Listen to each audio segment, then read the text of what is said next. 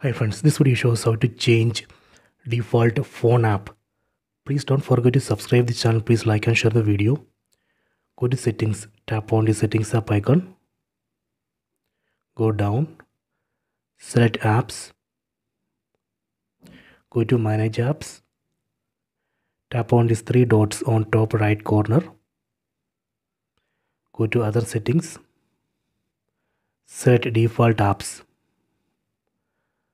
From this list, select, select dial. Here we can see two apps, phone app and Truecaller. So we have to install this Truecaller app from Google Play Store. Then only you will see this app here. So right now the default app is phone app.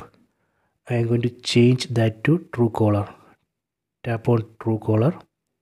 Done. So now Truecaller is a default phone app or dial app go back.